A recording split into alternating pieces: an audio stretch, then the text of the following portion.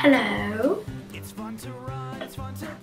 Hi you guys, so today I decided to make sort of a humor video and this one is going to be how to make people stop talking to you. Um, like in chatting, like not in general. Like if you're out and about and want people to stop talking to you, just like pull out the whole Jenna Marbles face, you know, and you know, use that about, you know, until they go away. So, but in chatting, um, just how to get people to stop talking to you. Here we go. So the first way on chat to make people stop talking to you is like replying with one word answers. Nothing is a bigger turnoff than when people ask, hey, what you doing? NM. HBU. They go, oh my gosh, today was so cool. Everything's awesome, blah, blah, blah, blah, blah. And you go, cool. They will automatically stop talking to you.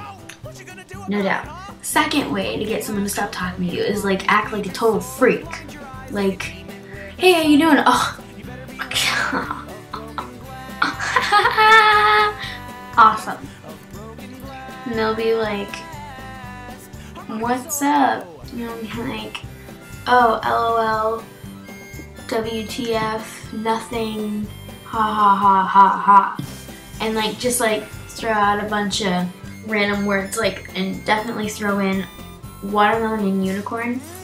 And like, they'll just either say, you're a freak and keep talking to you, or automatically stop.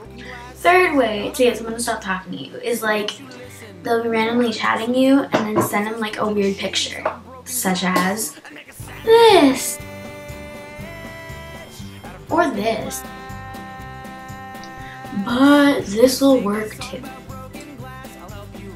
Or if you really, really don't want to talk to a person or make a person stop talking to you, just don't talk to them. There you go. Done.